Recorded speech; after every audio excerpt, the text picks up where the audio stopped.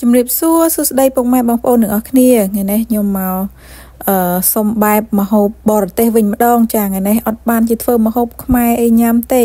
ដោយសារតែម្សិលមិញហ្នឹងល្ងាចមិញហ្នឹងអឺទៅទិញមន់ពីខាង Costco មកទិញពីល្ងាចទៅពេលញ៉ាំអត់តន់នៅសល់ដល់ថ្ងៃនេះ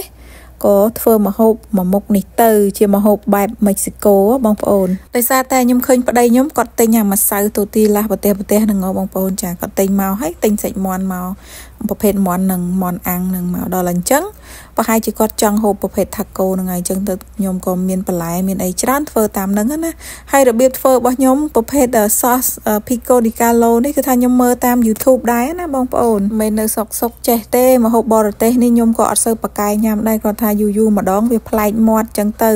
កុំឲ្យវាអដែលអដែលពេកចាអញ្ចឹងបើសិនជាបងប្អូនចាប់អារម្មណ៍ចង់ធ្វើអាចមើលក្នុង YouTube បានអញ្ចឹងមុនដំបូងគេគឺខ្ញុំមកធ្វើគេហៅ sauce ទឹកជ្រលក់អានឹងដូចមិនមែនទឹកជ្រលក់អាម៉េចទេពិបាកថាដល់ហើយសះគេនឹង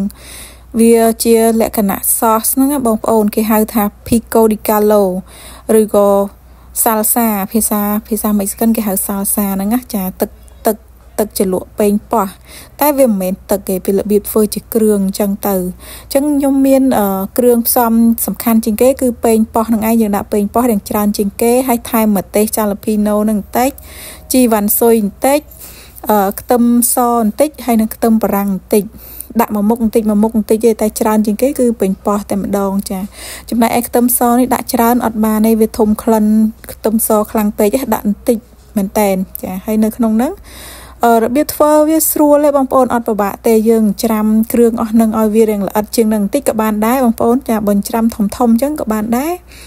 វាថាគេធ្វើខុសៗគ្នាអញ្ចឹងណាដាក់ក្រូចឆ្មាចូលបន្តិចសិនហើយដាក់អំបិលបន្តិចរសជាតិប្រៃរាងស្រាលអត់យកប្រៃដិតទេអាហ្នឹងហើយដាក់ម្រេចបន្តិច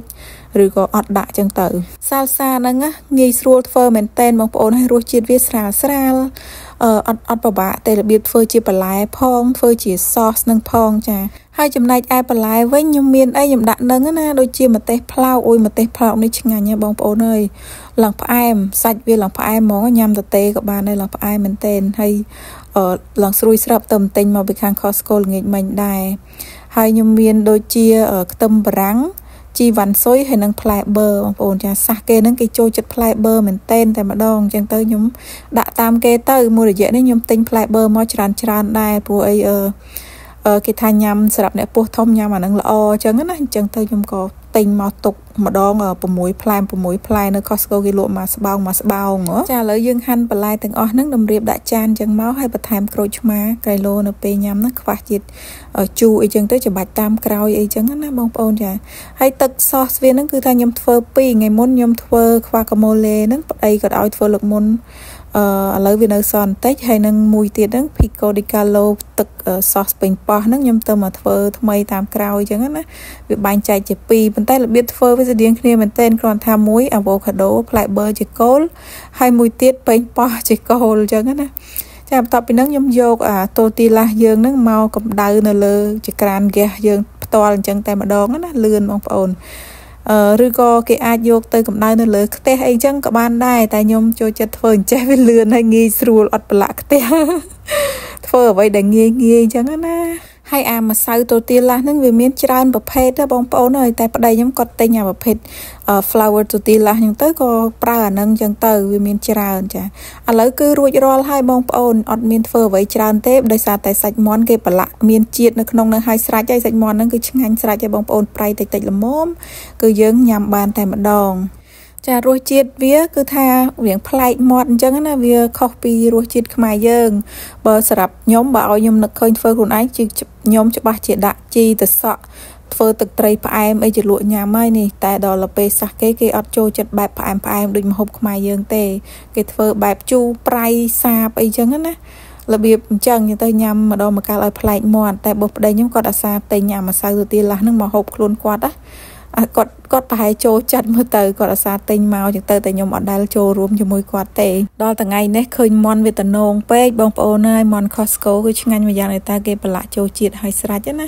ចាហើយយើងតម្រៀបចូលគ្នាផ្សំគ្រប់មុខញ៉ាំចឹងទៅ ចាហើយរបៀបធ្វើថាកូននេះដែរគឺថាវាមិនមែនដូចគ្នាបេះបិទទេបងប្អូនសះគេមួយចំនួនហ្នឹងគឺថាគេមិនបានដាក់បន្លែដាក់អីច្រើនអញ្ចឹងផងគេដាក់តែសាច់ដាក់តាអាសសនឹងហើយនឹង អាខ្ចប់អាម្សៅហ្នឹងគឺថាញ៉ាំតែម្ដងណាប៉ុន្តែសម្រាប់ខ្ញុំខ្ញុំចូលចិត្តបន្លែហើយខ្ញុំមានបន្លែច្រើនទៅក៏ដាក់តាមនឹងទៅបងប្អូនរសជាតិវាបើថាឲ្យឆ្លើយថាឆ្ងាញ់ក៏ខ្ញុំអត់ដឹងថាឆ្ងាញ់ឬមិនឆ្ងាញ់ដែរបងប្អូន គ្រាន់ថាអាចញ៉ាំបានអូខេអាចញ៉ាំបានម្ដងម្កាលវាប្លែកអីចឹងណាព្រោះអីខ្ញុំអត់សូវទលាប់ញ៉ាំម្ហូបសាសគេទេអញ្ចឹងទៅឲ្យឲ្យដឹងថាឆ្ងាញ់ឬមិនឆ្ងាញ់ដូចពិបាកបែងចែកបន្តិចប៉ុន្តែសាច់មាន់ហ្នឹងឆ្ងាញ់បងប្អូនគេប្រឡាក់មកមានជាតិនៅក្នុងនឹងល្មមតែម្ដងហើយនិយាយថាធ្វើថាគោនេះមួយឆ្អែតតែម្ដងបងប្អូនឡើងធំតែម្ដងហើយបន្ទាប់ពីញ៉ាំរួចអេលិតភ្ញាក់ល្មមគ្រាន់ថាគេអត់តន់ស្វាងល្អមើលទៅគេនៅរៀងសងំសងំនៅឡើយអញ្ចឹងណាចាអរគុណបងប្អូនដែលបានចូលមើលវីដេអូនេះជួបគ្នាវីដេអូក្រោយទៀតជម្រាបលាបាយបាយ